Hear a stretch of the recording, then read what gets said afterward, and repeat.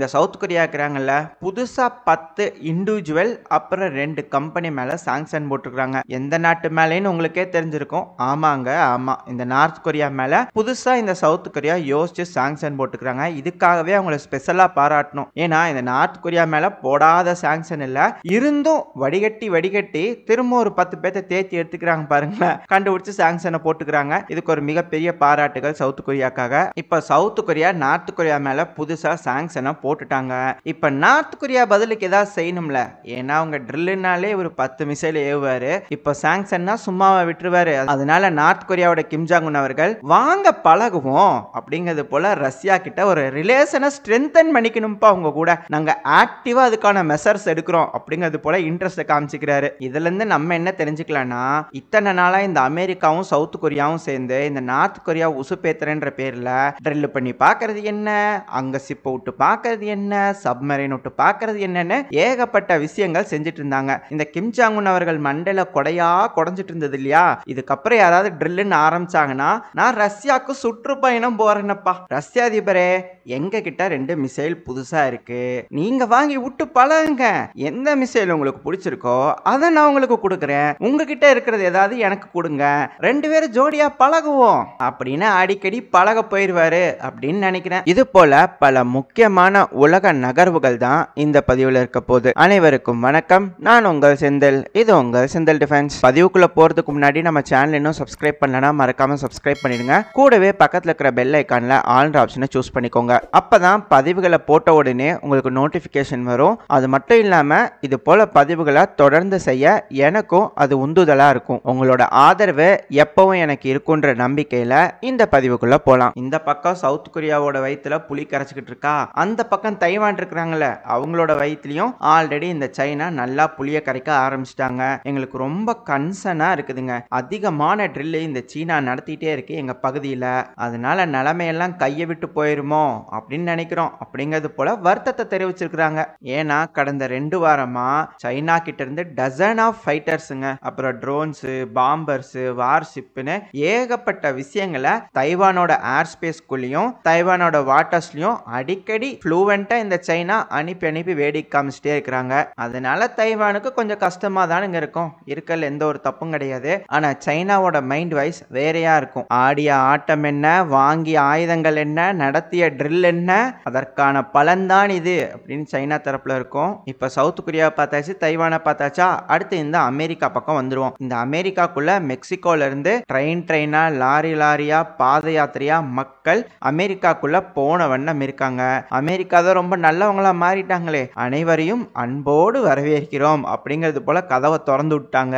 இந்த மெக்சிகோவோட national immigration இன்ஸ்டியூட்ல இருக்கிற ஏஜென்ட்ஸ்லாம் எப்படியோ தடுத்து பார்க்கறாங்களா ஆனா இந்த மெக்சிகோவோட மக்கள்லாம் இதுதாண்டா வாய்ப்பு அடிச்சது ஜாக்பாட்டுன்னு பல கடினமான பயணங்களை மேற்கொண்டு அமெரிக்காக்குள்ள ஓடிடுறாங்களாம். அதாவது பல மலைகள் காடுகள்னு ஆபத்தான விஷயங்கள்லாம் நடந்தே கடக்குறாங்களாம் மக்கள். சாரசாரியா போன வண்ணம் இருக்காங்களாம். மக்கள் அது போல பயணம் செய்யும் போது இந்த ட்ரெயினை யூஸ் பண்ணி ஈஸியாக போயிடுறாங்கன்னு அறுபது ட்ரெயினை வந்து பிளாக் பண்ணாங்க. ஆனால் எதுவுமே தடுத்த பாடு இல்லையாமா. இப்போ இந்த செய்திகள்லாம் துணுக்கு செய்தியாக வருது. நான் தான் ஹைலைட் பண்ணி காட்டுறேன். ஏன் இது போல செய்திகள்லாம் வருது?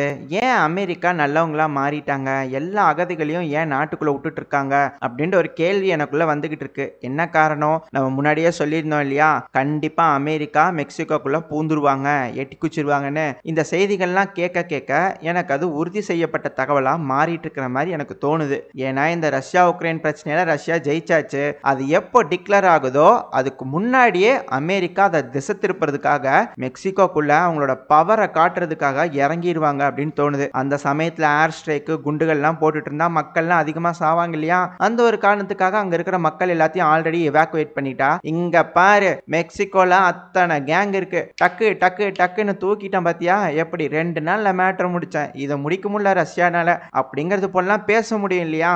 அப்புறம் எப்பவுமே சொல்கிறபடி தாங்க இந்த உலகத்துக்கு இந்த மேற்குலக நாடுகள் ஏதாவது ஒன்று செய்கிறாங்கன்னா அதுக்கு நியாயப்படுத்தணும். ஒரு காரணம் வேணும் இல்லையா? ஏன்னா அவங்க தானே நியாயஸ்தர்கள். இங்கே பாருங்கப்பா எங்கள் நாட்டுக்குள்ளே மெக்சிகோலேருந்து பல மக்கள் அகதியாக வராங்க. அதுக்கு காரணம் என்ன? அங்கே இருக்க கேங்கு தான். அதான் கார்டல்ஸ் தான். அதனால கிளென்சிங் ஆப்ரேஷனில் ஈடுபடுறோம். ஸ்பெஷல் மிலிட்டரி ஆப்ரேஷன் அமெரிக்கா அறிவிச்சு மெக்சிகோக்குள்ளே எட்டி குச்சி கிளென்சிங் பண்ணிட்டு வெளியே வந்துருவாங்க. இதுக்கு என்ன இப்போ காரணம்? என்ன அவசரம்? அப்படின்னு தானே கேட்குறீங்க அமெரிக்கா பல தோல்விகளை தொடர்ந்து சந்திச்சுக்கிட்டே இருக்காங்க. இதனால அமெரிக்காவோட மக்கள்கிட்டயும் சரி அமெரிக்காவோட இராணுவத்துக்கிட்டையும் சரி இந்த அரசாங்கத்து மேல அதிருப்தியா இருக்கும். அதனால அவங்களுக்கு ஒரு வெற்றி வேணும் இல்லையா? அதுக்காக இந்த ஆபரேஷன் பண்ணலாம். அப்புறம் இந்த எஃப் தேர்ட்டி ஃபைவ் இருக்குல்லங்க. சமீபத்தில் ரொம்ப ஃபன்னா இருந்துச்சு. காமெடியெல்லாம் போயிட்டு இருந்ததுல அதையும் சீரியஸா மாத்த ஆரம்பிச்சிட்டாங்க இந்த அமெரிக்கா தரப்புல இருந்து என்னன்னு தானே கேக்குறீங்க? முதல்ல என்னென்ன செய்திகள்லாம் இதை பத்தி வந்துச்சு அப்படின்றத பார்த்துருவோம் ஃபர்ஸ்ட் இது போல ஒரு விமானம் ட்ரைனிங் எக்ஸசைஸ் இருந்த போது ஆக்சிடென்ட் ஆயிடுச்சு அப்படின்னு சொல்லி சொல்லியிருந்தாங்களா? அப்புறம் அதை கண்டுபிடிக்க முடியல அப்படின்னு சொல்லியிருந்தாங்களா? அதுக்கப்புறமா அதை கண்டுபிடிச்சிட்டோம் அப்படின்னு சொல்லியிருந்தாங்களா? இப்போ என்ன சொல்லியிருக்கிறாங்கன்னா இந்த விமானத்தோட பைலட் எதனால இஜெக்ட் பண்ணப்பட்டாருன்னு தெரியுமா? வெதர் சரியில்லைன்னு சொல்லி இஜெக்ட் பண்ணிட்டாராமாப்பா. இந்த செய்தி வெளியே வர ஆரம்பிச்சோன்னே மக்கள் மத்தியில அதிருப்தியும் சந்தேகமும் வர ஆரம்பிச்சிருச்சு. எது? நூறு மில்லியன் அமெரிக்க டாலர் ஒர்த்துக்கான அந்த எஃப் தேர்ட்டி ஃபைவ் ஃபைட்டர் ஜெட்டை வெதர் சரியில்லைன்னு இஜெக்ட் பண்ணிட்டாரா அப்படின்னு கிரிட்டிசைஸ் பண்ணிட்டு இருந்தாங்க. அதுக்கப்புறம் சில வீடியோக்கள் பரவ ஆரம்பிக்குது. எனக்கு என்னமோ அது கிராஃபிக்ஸ் மாதிரி தான் இருக்கு. பட் இருந்தாலும் இது போலலாம் பேசிட்டு இருக்காங்க. என்னன்னா இந்த ஃபைட்டர் ஜெட் கிராஷ் ஆகிறதுக்கு முன்னாடி தலைகளா பறந்துட்டு இருந்துச்சப்பா அப்படிங்கிறது போல சொல்லப்படுது. வீடியோக்களும் பரவ ஆரம்பிச்சிருக்கு. இந்த வீடியோவும் அந்த செய்திகளும் பகிரப்படும் போதே எல்லாத்துக்கும் ஒரு சந்தேகம் வந்திருக்கு. இந்த ஃபைட்டர் ஜெட்டை பைலட் யாரும் ஓட்டிட்டு போன மாதிரி தெரியலையே. அமெரிக்கா இதை ட்ரோனா மாத்திட்டாங்களோ? ஒருவேளை ரிமோட் கண்ட்ரோல் வச்சு ஆப்ரேட் பண்ணிட்டு இருக்கும்போது கண்ட்ரோல் இழந்து போய் மோதினதுனால தான் இந்த ஃபைட்டர் ஜெட்டை யாராலையும் கண்டுபிடிக்க முடியலையோ? ஏன்னா சமீபத்துல நம்ம சேனல்ல கூட இந்த சைனா தைவான் பத்தி பார்க்கும்போது ஒரு விஷயம் சொல்லியிருப்பேன் அவங்களோட பழைய ஃபைட்டர் ஜெட் எல்லாத்தையும் ட்ரோனா மாத்திட்டு இருக்காங்க.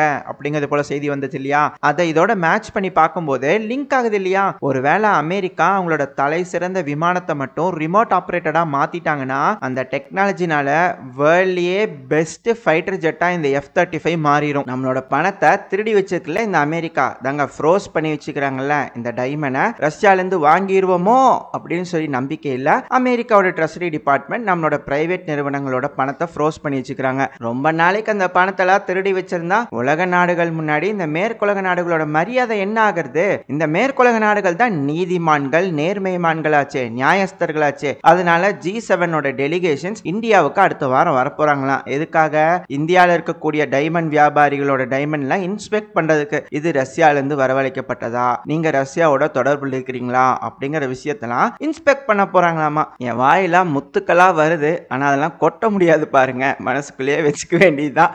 உங்களுக்கு அது போல முத்துக்கள் இருந்ததுன்னா கமெண்ட் செக்ஷன்ல கொட்டி விடுங்க. இதுக்கு மேல இந்த செய்தியை பேச எனக்கு பிடிக்கல. அந்த செய்தியை கேட்டு கூட உங்க முத்துக்கள் வராம இருந்திருக்கும். ஆனா இப்ப நான் சொல்ல போற செய்திகள் கேட்டா கண்டிப்பா அந்த முத்துக்கள்லாம் பொத்துக்கிட்டு வந்துடும் அப்படிங்கிறதுல நான் கேரண்டியா நம்புறேன். என்னன்னு கேளுங்க. நம்ம போலாண்டு இருக்காங்கல்ல போலாண்டு. மூணு மடங்கு ரஷ்யா கிட்ட இருந்து ஃபெர்டிலைசர்ஸை வாங்குறத அதிகப்படுத்திக்கிறாங்களாமா. அவங்களோட இம்போர்ட்டை மூணு மடங்கு அதிகப்படுத்திக்கிறாங்க. என்ன இதுக்கு பண்ணீங்கன்னு அந்த ஜி செவன் நாடுகள் போலாண்டை கேட்குமா கேட்க மாட்டாங்க. அவங்களுக்கு வேணுங்கிறதெல்லாம் வாங்கிக்குவாங்க.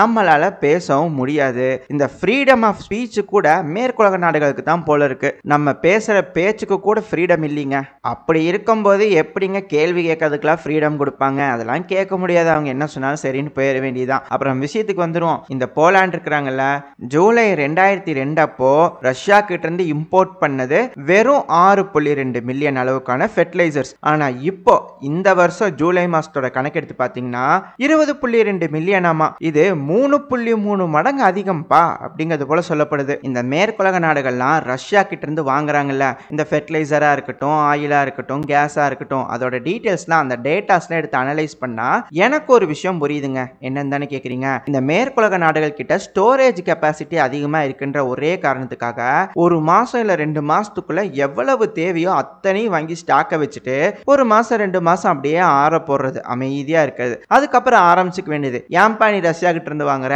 ஏன்பா நீ ரஷ்யா கிட்ட இருந்து வாங்குறேன்னு? ஏன்னா அவங்க வாங்கி வச்சுட்டாங்க. மாசம் மாசம் வாங்கினா தானே பிரச்சனை. அதனால ஒரே மாசமா லம்சமா வாங்கி வச்சுட்டு மற்ற நாடுகள்லாம் இது போல அதட்டிட்டு இருக்கிறாங்க. அப்படிங்கிறது போல எனக்கு தோணுது. உங்களுக்கு என்ன தோணுது அப்படிங்கிறதையும் கமெண்ட் செக்ஷன்ல சொல்லுங்க. அப்புறம் செந்தில் டி கோச்னு ஒரு புது சேனலை ஓபன் பண்ணியிருக்கோம். அந்த சேனலை சப்ஸ்கிரைப் பண்ணாதவங்க மறக்காம சப்ஸ்கிரைப் பண்ணிருங்க. அந்த சேனல்லையும் ஜியோ பாலிடிக்ஸ் சில முக்கியமான நியூஸஸ்லாம் அப்லோட் ஆகிட்டே இருக்கும். அதனால உங்களோட சப்போர்ட்டை அந்த சேனலுக்கும் நான் எதிர்பார்க்குறேன். இதோட இந்த பதிவை நம்ம முடிச்சுக்குவோம். இந்த பதிவு எப்படி இருந்துச்சு உங்களுக்கு பிடிச்சிருக்கா பிடிச்சதுன்னா ஒரு லைக்கை போட்டு உங்கள் ஃப்ரெண்ட்ஸ் அண்ட் ஃபேமிலியோட ஷேர் பண்ணிக்கோங்க. அது கூடவே மறக்காம இந்த பதிவு எப்படி இருந்துச்சுன்ற உங்களோட கருத்துக்களையும் கமெண்ட் செக்ஷனில் சொல்லிடுங்க. இந்த பதிவு சுவாரஸ்யமாக இருந்திருக்கும் நான் நம்புறேன். இதே போல இன்னொரு பதிவில் சந்திக்கும் வரை ஸ்டே சேஃப் பை பை